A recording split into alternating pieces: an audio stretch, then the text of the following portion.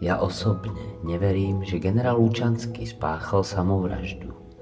Ale pokiaľ mi nezávislé vyšetrovanie pod nejakým, neviem samozrejme presne akým, dozorom nezávislej komisie, zloženej z predstaviteľov opozície a koalície, dokáže, že išlo naozaj o samovraždu, potom uverím. Inak nie. Možno mi budete tvrdiť, že sa to takto nedá ale dá sa. Všetko sa dá, keď sa chce. Dalo sa to v Katyni počas druhej svetovej vojny. Dalo sa to aj v Srebrenici.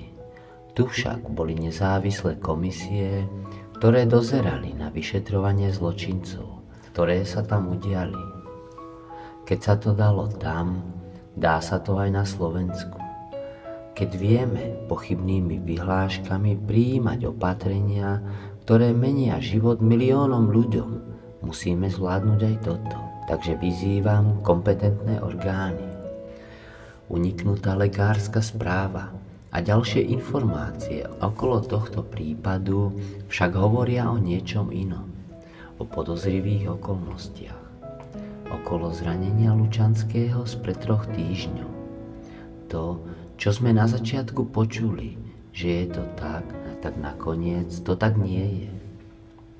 Na začiatku sme počuli od ministerky spravodlivosti, že sa Lučanský poranil pri cvičení. Tá uniknutá lekárska správa z Ružomberskej nemocnici to však nepotvrdzuje. V žiadnom prípade tá hovorí o zraneniach, ktoré si údajne nemohol zapríčiniť sám. To, čo sa prvé hovorilo, že spáchal samovraždu na teplákoch, tak ja osobne tomu neverím. Koalícia si sa tieto dohady okolo smrti Lučanského môže v prvom rade sama. Minister obrany Jaroslav Naď namiesto toho, aby sa snažil upokojiť situáciu, tak poprvé on potvrdil autentickosť tejto správy lebo správe nebolo meno pacienta. On potvrdil, že to patrí Lučanskému. Katastrofou však je, že on vyhlásil odmenu a beztrestnosť pre toho, kto objasní, kto túto správu vyniesol. To je škandalózne. Ako môže minister obrany vyhlásiť odmenu?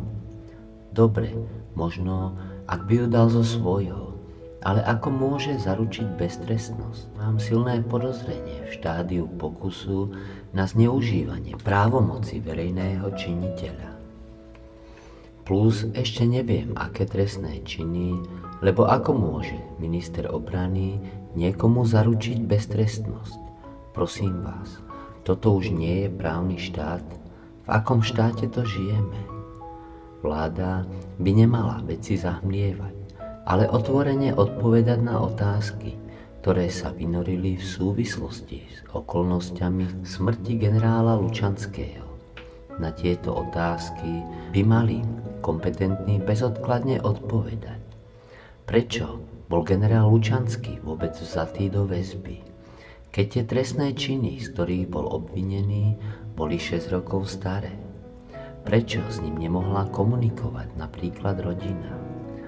Prečo bol vzatý do väzby v Prešove a nie v Bratislave, kde mal k dispozícii advokátku, ktorú chcel.